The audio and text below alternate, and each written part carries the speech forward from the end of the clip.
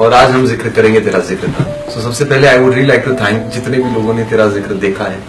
सुना है और उसे पसंद किया I am really thankful to you guys एक आर्टिस्ट के लिए सबसे ज्यादा इम्पोर्टेंट वो चीज होती है कि उनका गाना या उनका काम लोगों तक पहुंचे और आपने मेरा काम ना ही सिर्फ देखा सुना है उसे बहुत पसंद किया है और